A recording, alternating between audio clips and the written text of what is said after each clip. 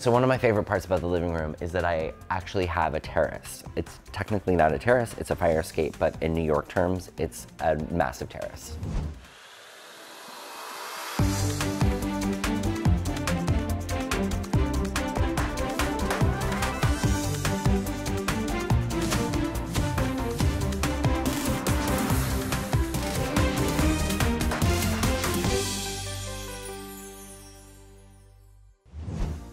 Gore, and welcome to Open House NYC, everyone. Memorable homes as always this week, and we are getting started at this light-filled modern duplex in ever chic Tribeca. Star stager Cheryl Eisen and her team have fashioned this indoor-outdoor penthouse as an entertainer's dream palace, accentuating its staggering dimensions with inviting low-profile furniture and stylish decor. So kick back, put your feet up, and enjoy. Hi, it's Cheryl Eisen from Interior Marketing Group. Welcome to apartment 3210 at 101 Warren Street in the heart of Tribeca. Okay, so what do you get when you combine two penthouses, an AD100 designer, and my award-winning staging firm? You get a mega magnificent, beautifully blinged out trophy home that's about to blow your mind. With 50 feet of southern-facing frontage, over 2,500 square feet of outdoor space, and over 6,300 square feet of indoor space, this is the largest single residence in the building. And every inch of this home was meticulously designed and no expense was spared. And you can feel that here in the living room. And to take advantage of these incredible views, we opted for light and airy low-profile furnishings. It was important to anchor the space with a simple white textured area rug. Not only does this create clear delineation between rooms, it also creates an important moment of calm in contrast to the patterned floors and the vibrant city outside these floor-to-ceiling windows. Then, we added sculptural chairs and a curved sofa to add movement and create a perfect space for conversation. And finally, we carefully curated these Basquiat-inspired paintings to keep the vibe cool and add a pop of color. Right off the living room is this cozy little home office slash library. Once again, the light furniture choices create contrast and soften the leather-bound built-ins. This room might be all about business, but it doesn't mean it shouldn't look good. And speaking of looking good, check out this dining room. This space is perfect for entertaining. This huge white glass dining table with a wrapped leather base is the perfect complement to this Artemide Skydra light fixture and looks like a piece of art. And the Macassar millwork with a built-in mirror perfectly creates space and doubles the beautiful views, completing the scene.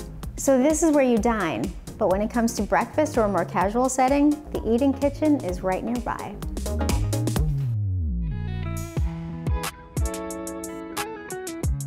Like any luxury home, this kitchen is outfitted with top-of-the-line appliances and tons of storage. And talk about a pop of color. This lime green cabinetry adds a little whimsy and a touch of fun.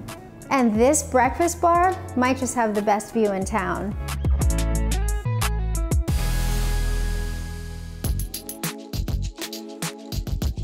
Now come on, this corner primary suite is all about windows and breathtaking views. But to create an even comfier oasis, we fabricated this oversized headboard in a soft hue and a velvety fabric. Once again, we softened the ebony floors with a light silken area rug. Lastly, I always love to create a cozy corner for morning coffee and a good book. The apartment's crown jewel is this unparalleled 2,500 square feet of wrapped loggia terraces. And we've taken advantage of every space by creating several seating areas with different functions. There's dining al fresco, a comfy outdoor lounge to take in breathtaking panoramic views, and finally, a huge lounger to soak in the sun.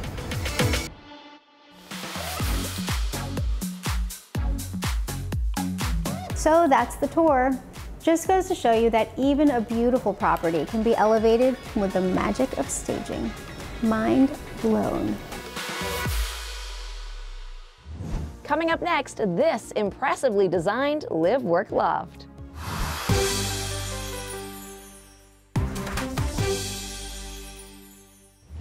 Welcome back, everyone. Now we're with lifestyle influencer, entrepreneur, and design enthusiast Patrick Janelle. Patrick, who is the founder of the agency Untitled Secret, had always wanted to live in a New York loft, and he finally found it in the Flatiron District. Stylish and inviting, its design combines classic loft living with dashes of Parisian style, plus just the right amount of country charm. See for yourself. Good design is about making something look good and also about feeling great in the space that you're in. My name is Patrick. Most people know me because I have a large following on Instagram where I talk about fashion, design, travel. I also live in New York City and own a talent management agency, and my team works out of this very apartment once a week. So I've designed a space that I feel good living in and is also great for my team to work out of. The dining room is a good example of what I've done throughout the apartment, and a really great mix of old and new. This mid-century design chair paired with an antique farmhouse table that I use both as a dining table and as a shared workspace for my team. The other thing you notice are the super high ceilings that are pressed tin that creates the most beautiful charm to this space. And then on the walls, I have these brass candle sconces so I can light real candles for like a perfect glow during dinner parties.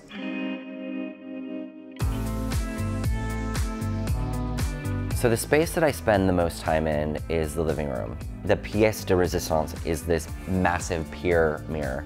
It is an architectural salvage piece, but it fits so perfectly here. So I wanted to contrast this like period detail with this more contemporary sofa. And this coffee table is perfect because it's low, matching the sofa. It's really unusual and I think just looks so beautiful in the space. Probably the most original corner of the home is this exposed brick wall. With a working wood burning fireplace, I decided to hang this vintage bicycle and it's both functional because I use this bicycle, but it also sort of looks like a piece of art. So one of my favorite parts about the living room is that I actually have a terrace. It's technically not a terrace, it's a fire escape, but in New York terms, it's a massive terrace.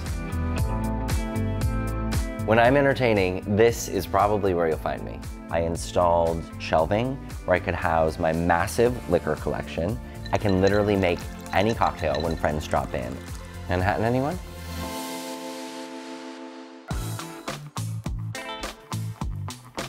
This kitchen may be small, but it's super functional. We installed a lot of cabinetry because storage in New York City is always the most important thing.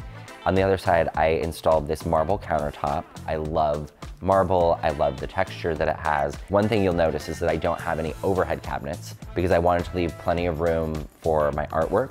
This brass rail is both a beautiful design piece and it allows me to have everything I need right at my fingertips. The focal point of the office is this massive table I love that it's two-toned. The top is both brass and marble. Pairs perfectly well with this lighting fixture from Apparatus. And the wall looks like it's painted ombre, but it's actually wallpaper. I love how this room came together, both as an office space and an intimate dining room.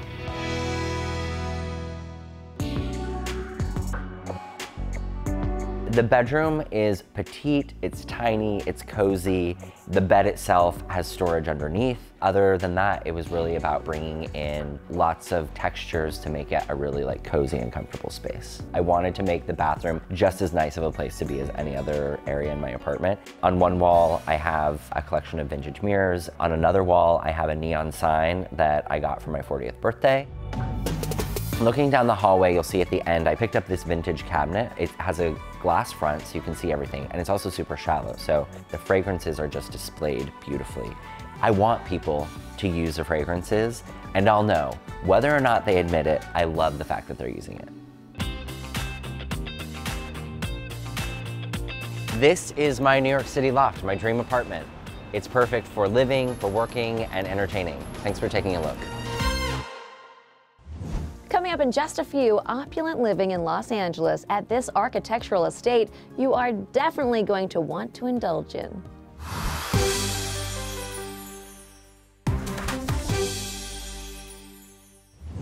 Welcome back, everyone. Now let's visit this brand new estate in Bel Air. Impressive doesn't even begin to describe the architectural details in this opulent home. Take a look. I'm Rayni Williams of the Beverly Hills Estates. Welcome to 1055 Stradella Road. Come follow me and let's take a look. When you're standing here in this bar right in your entryway and you're looking at this sculptural staircase and this floating light fixture, everything feels so organic and natural, yet elevated and very sophisticated. This is a very tactile home where you want to really feel the wood. And it's one of these experiences where you almost want to kick off your shoes and just walk through this fabulous travertine throughout. It's an overload of the senses, but in the most subliminal way.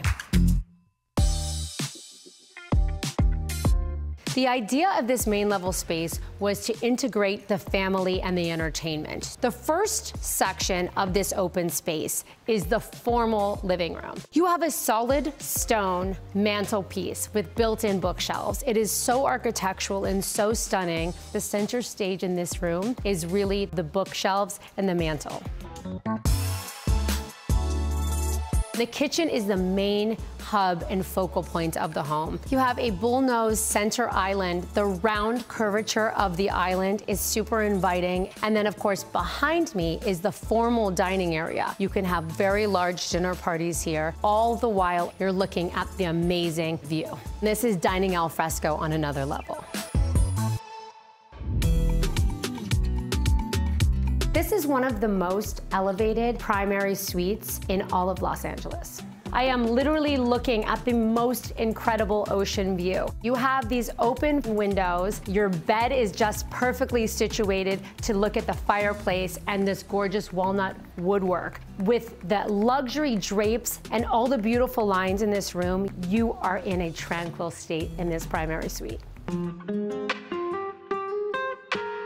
One of my favorite features is this 3,000 pound solid stone soaking tub. The only thing better than this massive soaking tub is the view that you are looking at. And this is the owner's suite's very own private balcony, and you have the most insane view in front of you. When you're standing up here on the rooftop, you feel like you are king of the hill. Here you have multiple living areas and you have a view that spans from downtown Los Angeles to the Pacific Ocean. And that wraps up the tour, so you guys can enjoy the rest of the house, and I'm gonna enjoy these California rays. When we come back, we're with this stylish lifestyle entrepreneur and podcast host. We'll see you in just a few.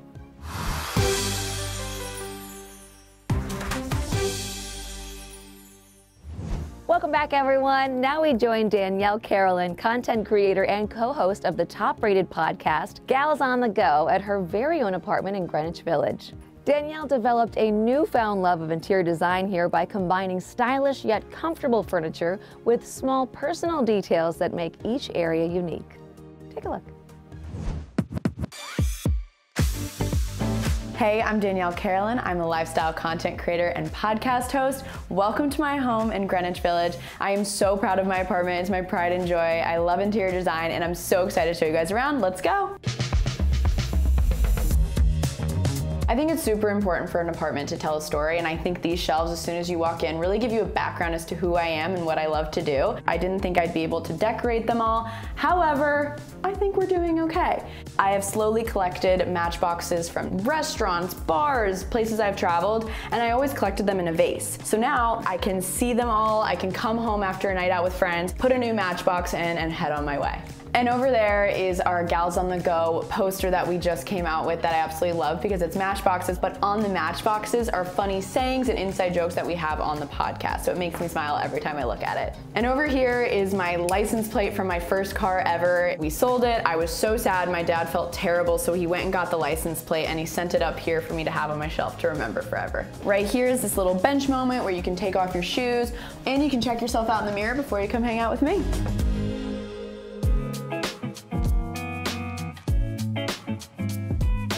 My goal here was for my apartment to exude luxury. I was very inspired by the One Hotel, and you can see that aesthetic as soon as you walk into my living room, AKA my sanctuary. The key here was for it to be relaxing, but also a fun place for me to watch football with my friends. Like the One Hotel, when you first walk in the lobby, there are white couches everywhere, so I obviously had to replicate that. And I know it's a little scary to have a white couch. We've only had a few spills. I added a little pop of color with that Birds of Paradise plant. It's faux though, because I cannot take care of plants for the life of me. I wanted this apartment to have some oak accents, so that's what this coffee table here does. And on top, I added these moss balls to give some life, and they're so fun because they're textured, so they feel really good in your hands, and my friends love to play with them. And right over here is my infamous outfit of the day mirror. It's really important to me, and I know you guys have all seen it on my Instagram already. I love the ornate detailing, and it really opens up the space. In New York, everything in your apartment needs to be multi-purpose. So right over here is this beautiful round table that is my office, my dining table, my charcuterie board. It's very important. Even though none of the pieces are custom made, it's all about curation and how you put it all together.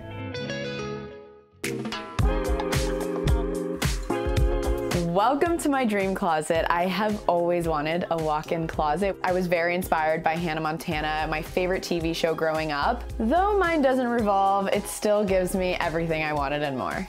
The shelving was a continuation of the entry, which is awesome. So I put my bags and shoes on there. But over here, I added this vanity, which is perfect. I feel like I'm in a dressing room backstage. I get ready here every single morning before the day. And I also store all of my products right in this piece of furniture. And behind me, I put up these clothing racks and hung up my clothes in a color coordinated way, which really brings out the triple Virgo in me. So now that you've seen where I get ready, let me show you where I unwind. Here's my bedroom, and again with that hotel vibe was very important to me, so I chose this simple, modern, low to the ground bed and added all of these plush pillows. I hung this above my bed to break up the white walls and also add some texture. I don't do sweaters in the oven like Carrie Bradshaw, but I do put my clothes in my nightstands because I'm always looking for extra storage. During the day, I love bringing out these sheer curtains because it gives this ethereal touch and lets just the right amount of natural light in. And right over here, finally, is my dresser where on top I keep all of my everyday jewelry so I add those final touches like my earrings, my rings, and head out the door.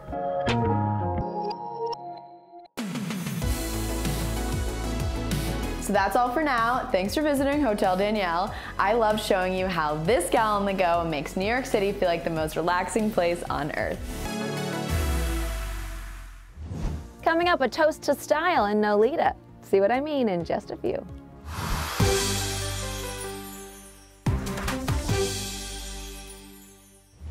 Welcome back, everyone. Now we're in New York's Nolita neighborhood with entrepreneur Brenna Gilbert. Brenna is the founder of Fest and the Champers Social Club, a one-stop shop for all things festive. Her own apartment is a reflection of her ethos that no moment is too small for a celebration. See why. I'm Brenna Gilbert. I'm an entrepreneur. I'm the founder and CEO of Fest and Champers Social Club. Welcome to my home. This is a one bedroom in the heart of Nolita, which is a notoriously busy area. So when people come in, I wanted them to be able to decompress right away. There's not much green outside my window, so we brought it in here. We also wanted to make sure the space was full of things we love, like this handmade bell by MQuan, which is a Brooklyn-based designer. The space is also very narrow, so we added the mirror to make sure that it felt bigger than it actually is. This is our main living area. We have a living room, we have a dining space, and we have the kitchen. I share this space with my husband Andrew and our bulldog Puma. I find a lot of these new contemporary buildings to be a little cold. This one is very beautiful. It was built by Lenny Kravitz's design firm, but I wanted to contrast that with some found pieces, some things with more organic materials. As an example, this table is an old work table that we found in Pennsylvania. We thought the contrast between the worn, lived-in wood was really strong against the stone backsplash. Bringing all of these pieces together, hand-picked from all of the different places we've lived, is really synonymous with my style.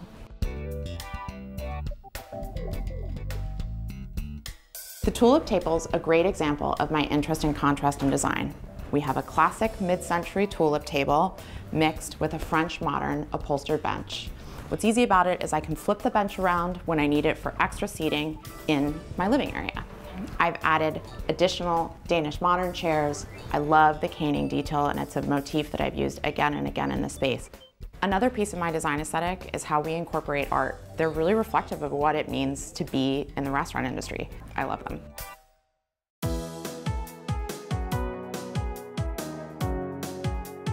I designed this space for two purposes, to fit as many people as possible here and to relax and recover. So the first thing we started with was the couch. Clearly, we don't care about having a dog on our white sofa. I knew that in order to make this very small space feel bigger, we needed to have one large area rug to make the space feel cohesive. We wanted to make a slightly beachy retreat here in Nolita. So we added a pop of teal and then warmed it up with ochre tones, some of the tawny tones that we had in a lot of the rich woods. As much as the dog loves cuddling on the couch, he also loves cuddling in the bedroom. Come on.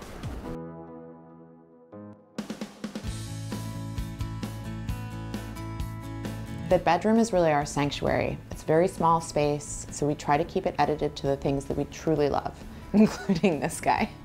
In keeping in continuity with the great room, we have kept the same color story, but in contrast, we've painted this space, this soft sand color, and it's really made it a much more cave-like space, perfect for retreating from the world. I'm really interested in layering in a bedroom. I really believe in this idea that a bed should be something that feels like you can sleep between any of the layers. So we have a duvet, we have a quilt, we have blankets, but I like to be able to pick my layer based on how I'm feeling on any given day. This bedroom is a perfect retreat for me, a perfect place to relax and unwind.